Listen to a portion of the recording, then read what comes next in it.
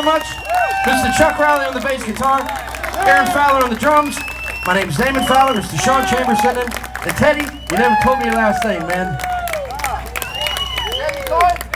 Teddy Toy on the guitar, ladies and gentlemen. Thank you guys for making this the best blues of Palooza ever.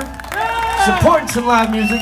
God bless you. Hey, we got some CDs for sale if anybody's interested. I'm to be right over here selling some CDs. Come over and see me. If not, see you next time. We all got a MySpace and a Facebook. Let's all be friends. Good night, y'all.